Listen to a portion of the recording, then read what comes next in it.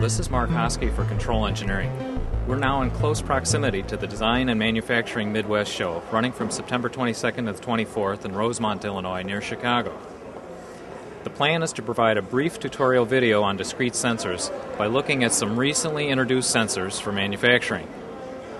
Co located shows here this week include the Assembly Technology Expo, Electronics Midwest, Quality Expo, Green Manufacturing Expo, Medical Design and Manufacturing Midwest. We're going to skip registration though, because you're with me and I've pre registered. Hi, we're here at the Carlo Gavazzi uh, booth talking about various kinds of proximity and photoelectric sensors. I'm with John Bach, he's the Vice President of Marketing, and he's going to start with the capacitive and proximity sensors. John? Yeah, Carlo Gavazzi is a, a worldwide leader in capacitive sensing technology. We've got all different types of housings, uh, anywhere from 12 millimeter up to 30 millimeter.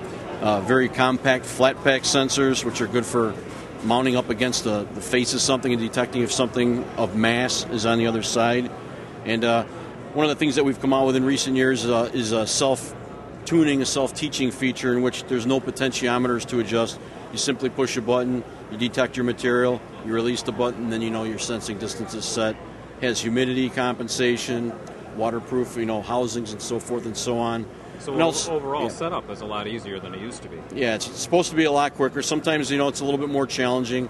Some people prefer doing things the old-fashioned way with the potentiometers, so they may try the self-tuning. But you know whatever works best for their application. We have the self-tuning type, and we also have the potentiometer type. Great. So a capacitive sensor uses what technology inside? There's a, it's a capacitive face on the front of the sensor. And then as a material of mass comes in front of it, that then changes the dielectric constant of the face of the sensor, and then you get an output. Great. And uh, the different form factors and sizes depend on the application and range required? Yeah, usually the smaller the face of the sensor, the shorter the sensing range.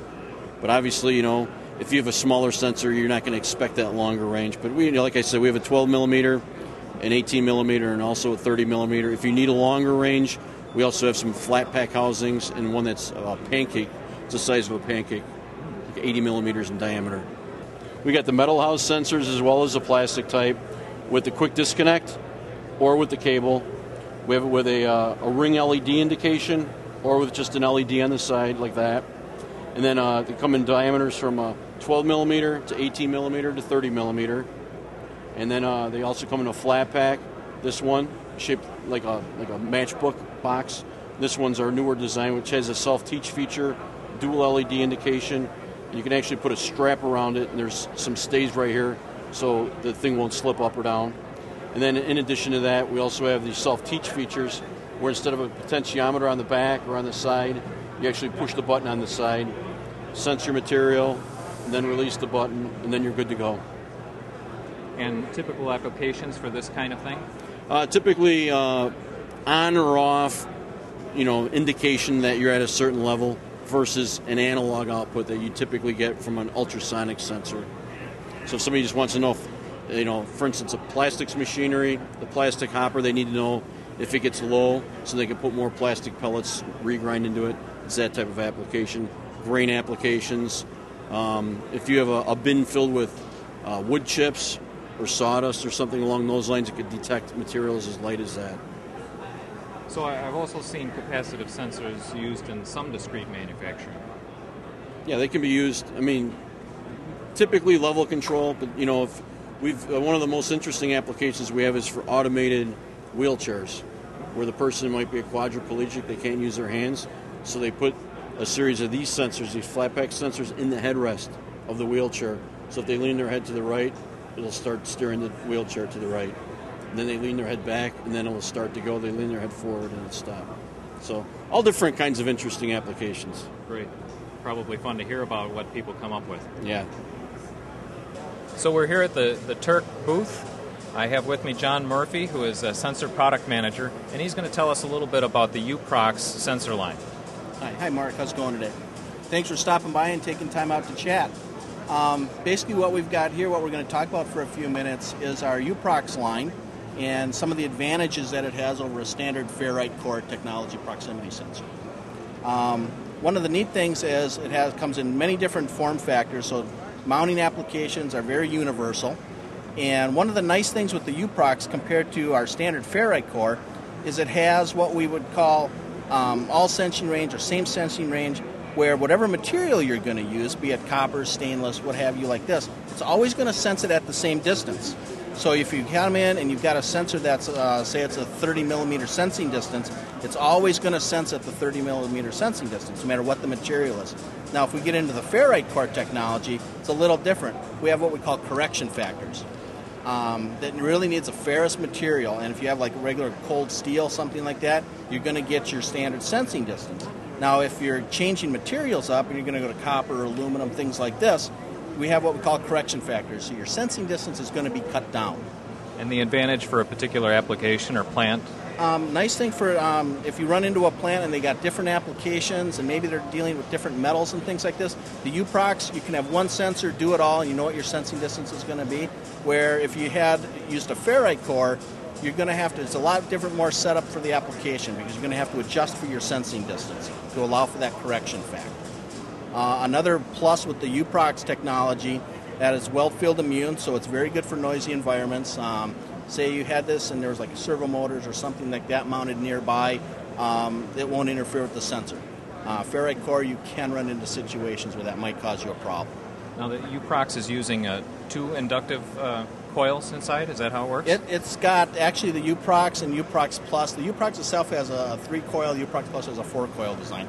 Um, flexible circuitry, PCB board type based um, technology, uh, which is obviously different from the ferrite core.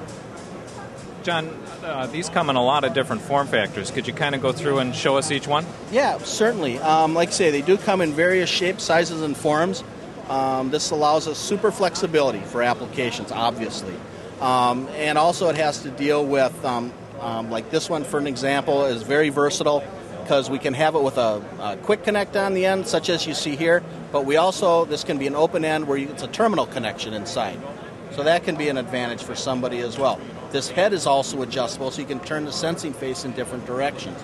Versatility for applications. That's the big thing here. We've got really small packages. Here's our new um, uh, BI8U Q08, very small, discrete package. Um, and then we got different sizes. Once again, they're all going to be sensing um, for proximity. They're all going to have the same UPROX technology in them, but we can get into and we get into the different sizes. Your sensing ranges will increase um, to deal with your different target sizes. Can you give us an idea of the range here from smallest to largest? Um, certainly. This one right here, for an example, we're talking about an 8 millimeter range, and all the way up to here is 75. So we can have quite the breadth of, of targets. Now, kind of a rule of thumb too is the larger the sensing distance, the larger the target kind of situation as well. We also have what we have washdown sensors. Here's one of our latest and greatest uh, washdown, made for a washdown environment. Um, so if you've got an example, like in the food and beverage industry, um, say a bakery or a canning application, something like this, this sensor is made to survive in a very wet environment. Not a submerged environment, but a very wet environment. Uh, the plastics and such are all made out of materials that are very resistant to cleaning agents, you know, soaps, different things like that. There's Ecolab tests that we've done. So very high, high IP rating. High IP, IP68, 69K. And we've also, there's uh, tests that we did, so it's subjected to very high steam pressure, uh, like out of a jet, you know, a, a, steam gun or whatever you want to call those things. Um, and these here?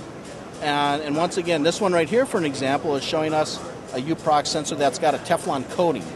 So this could be used for a more harsh environment where, say, there might have a weld slag or, or something like this where it prevents anything from sticking to it. Thanks very much, John, for showing us the Turck UPROX technologies. By all means, stop by if there's anything else we can talk about. So, for the latest in sensing technologies, check back regularly to the Sensors channel on Control Engineering's website, www.controleng.com. This has been Mark Hoske for Control Engineering, a Reed Business Information Technology video.